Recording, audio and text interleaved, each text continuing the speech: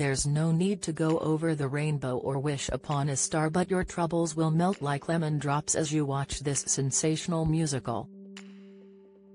Andrew Lloyd Webber has sprinkled his own brand of fairy dust over the L. Frank Baum classic to create a truly fantastic spectacle. The costumes are exquisite, the staging a marvel and the clever video design a real bonus, giving depth to the whole proceedings. Not too surprisingly with Craig Revel Horwood starring in the show, the choreography was tight and fresh. Dancing rehearsals must have been a daunting prospect. Horwood himself was a wonderful Wicked Witch of the West.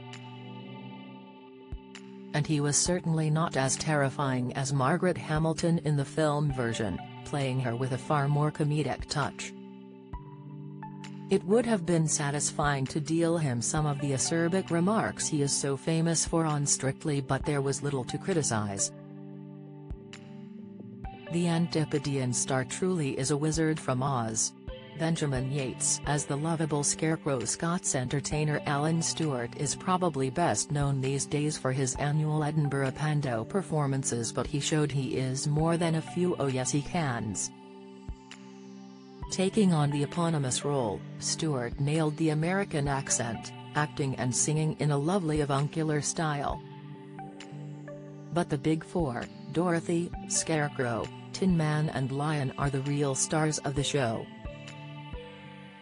Aviva Tulley's voice is insanely good while the comic timing, singing and dancing of her three unusual amigos, Benjamin Yates, Femi Akinfolarin and Nick Greenshields created a real warm, mushy feeling.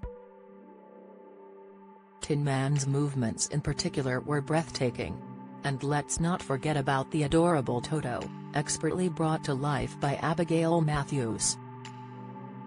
There were laughs galore and feelings of real emotion at the big numbers, carefully reworked by Lloyd Webber and his longtime writing partner Tim Rice. It is 85 years since the film came out but there are enough tweaks and turns in this production to make it feel bang up to date.